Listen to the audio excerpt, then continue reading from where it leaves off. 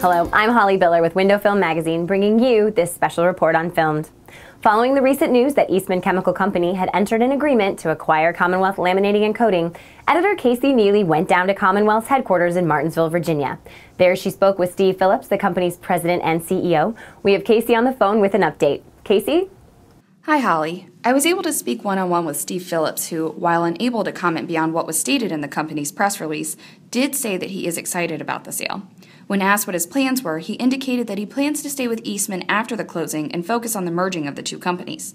Phillips also reinforced the point that he felt the deal would be good for both employees and customers in the long term. And when I saw employees around the office, they seemed upbeat and told me it was business as usual.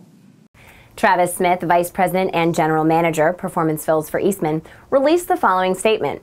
This acquisition will allow Eastman to gain efficiencies through enhanced utilization of manufacturing assets.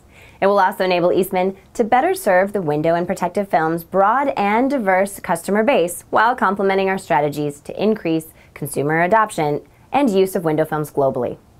Eastman is fully committed to providing continued superior service and support to customers worldwide as we successfully integrate these two businesses.